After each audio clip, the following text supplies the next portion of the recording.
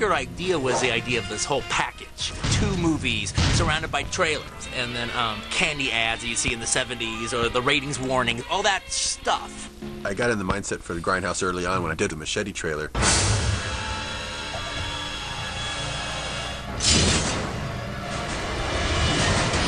Scene where the bad guy goes, "Where's my wife?" and you see Machete in the waterfall with with the man's wife. um, I hired two girls in case one didn't work out because it was freezing water. And I'm like, oh, wait a minute, this is a grindhouse movie. Both women should be in the water. Where's His my wife and Where's daughter. daughter? Where's my wife and daughter? Where are my wife and daughter?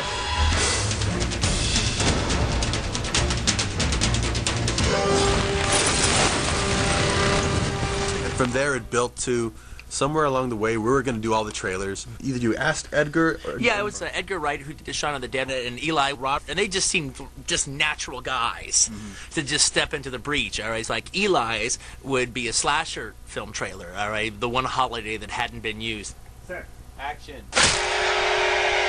Thanksgiving. and then Edgar was going to do a 70s style British horror film trailer. Don't scream.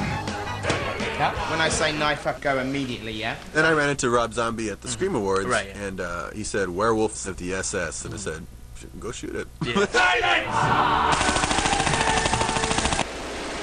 So Got it. Got it. this is a grindhouse movie made by people who love grindhouse movies. And that's what we wanted to do. We thought, let's make something for for movie fans, sharing an experience that the privileged few get when they go to Quentin's house and watch a movie there.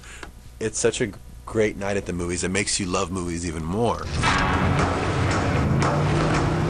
Grindhouse Project is kind of like these two superpowers aligning.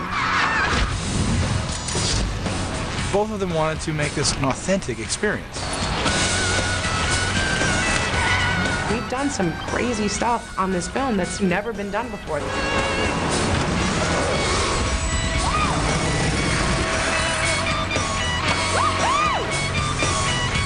There is not a dull moment in this movie. You're gonna go into a dangerous grindhouse and take your life in your hands. Planet Terror and Death Proof.